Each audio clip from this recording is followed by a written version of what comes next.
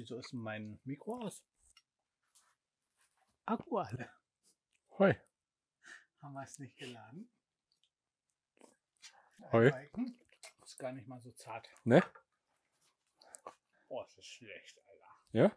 Howdy, Partner! Heute gibt's ein richtig leckeres Cowboy Steak. Und zwar machen wir das aber nicht auf dem Grill, sondern direkt hier über unsere Holzkohle in einer richtig leckeren Gusseisenpfanne. Also die Pfanne ist nicht lecker, aber der Inhalt wird lecker. Das kann ich euch versprechen. Welche Zutaten wir dafür brauchen, die zeige ich dir jetzt. Wir brauchen heute zwei Pfannen, weil wir machen einmal eine Butter und einmal ein richtig geiles Steak. Und an Gewürzen brauchen wir jetzt hier Paprika, Thymian, Cayennepfeffer, Pfeffer, Salz und Nein, das ist kein Baby-Chiss. Chiss, kein Baby-Chiss, sondern Dijon-Senf. Dann brauchen wir ein bisschen Butter, ein richtig geiles Steak. Haben wir jetzt hier ein schönes Entrecot. Dann brauchen wir eine Zestenreibe für ähm, unsere Zitrone. Brauchen wir Zeste und den Saft. Dann haben wir jetzt hier äh, eine schöne frische Chilischote.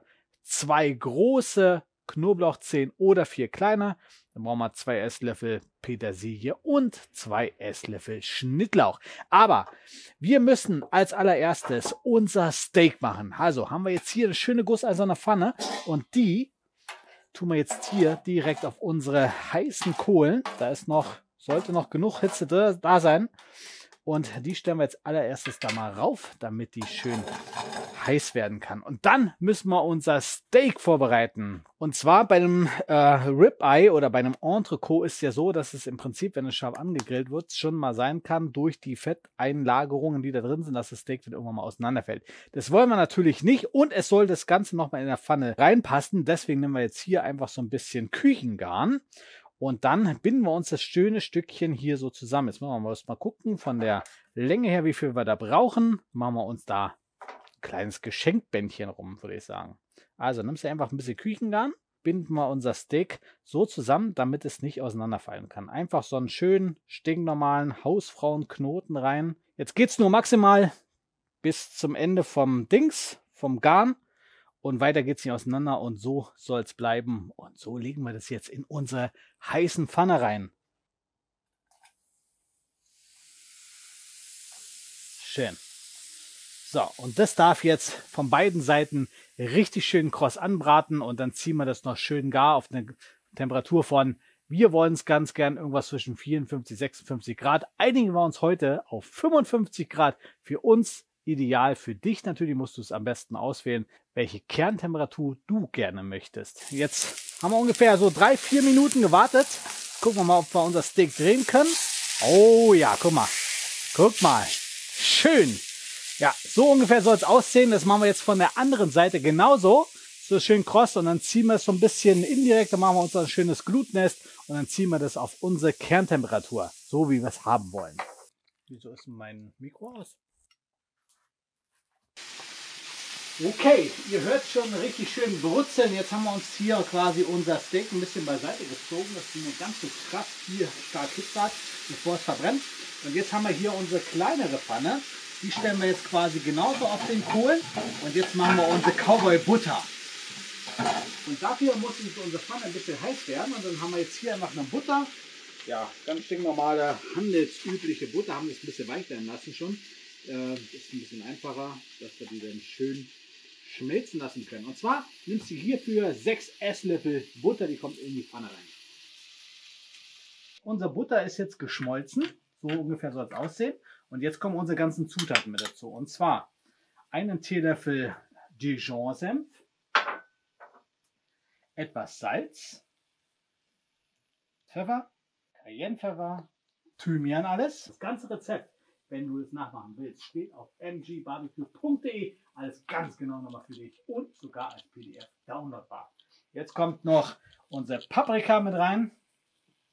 Einen Teelöffel frische Chili aus dem Garten. Zwei große Knoblauchzehen. Zwei Esslöffel Petersilie und zwei Esslöffel Schnittlauch. Jetzt rühren wir das ganz kurz mal miteinander um. Aber um noch ein bisschen Geschmack ranzubringen, ganz wichtig. Jetzt haben wir jetzt hier den Saft einer halben Zitrone. Pressen wir jetzt hier einfach noch ein bisschen rein. Da kommt noch ein bisschen Frische mit rein. Ein bisschen aufpassen.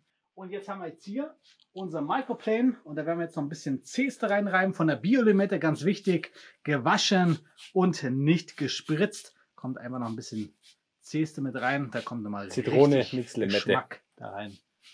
Habe ich Limette gesagt? Yes. Wir Ja. machen kein Mojito. Ich bin farbenblind. Für mich ist das eine Limette. Eine eine Milette. Eine Das ist, Milette noch, ist das das ist neue Frucht. Ist eine Zitrone Frucht oder Obst? Zitrone. Also ich Obst. Grundsätzlich sagen Obst, aber wenn du mich schon so fragst, ist Gemüse. Was Ja. Frucht oder Obst ist mir anders. Alter, ich weiß es nicht. Was ist, was ist Limette, was ist Zitrone? Schreib's mal runter. Vielleicht weiß es einer. Dann nehmen wir unsere Pfanne mit der Knoblauchbutter einfach mal runter. Cowboy-Butter?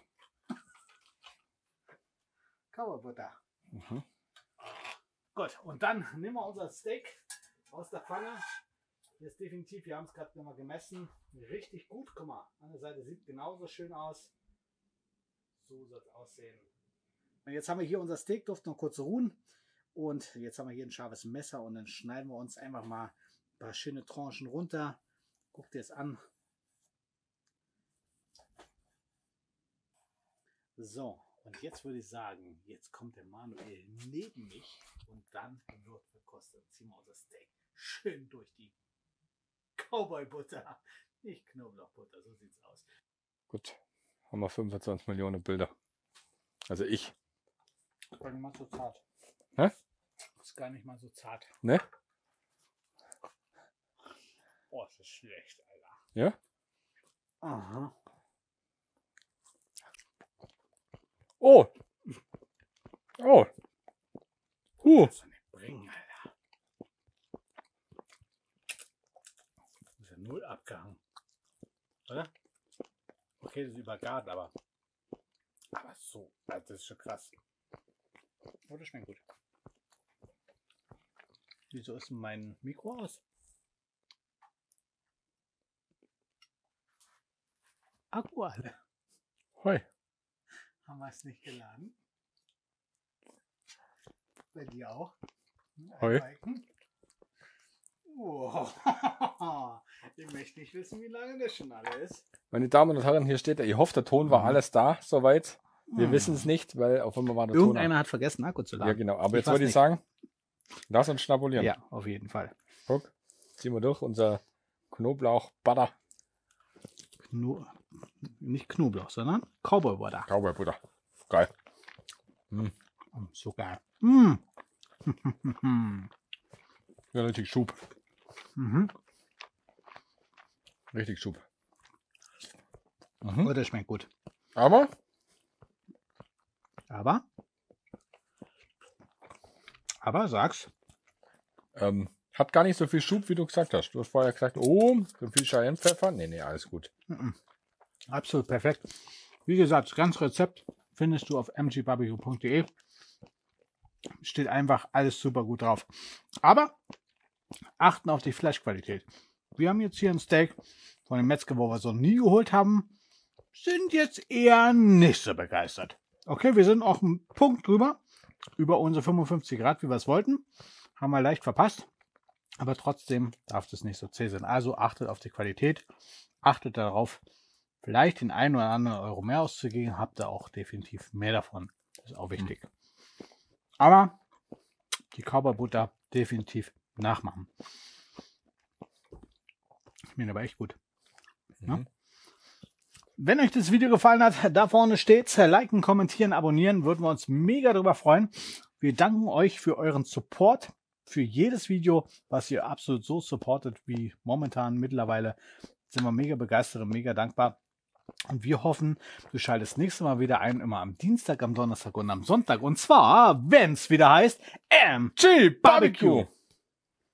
Und die Butter ist geil. Aber Steak geht gar nicht. Ja, ist abartig.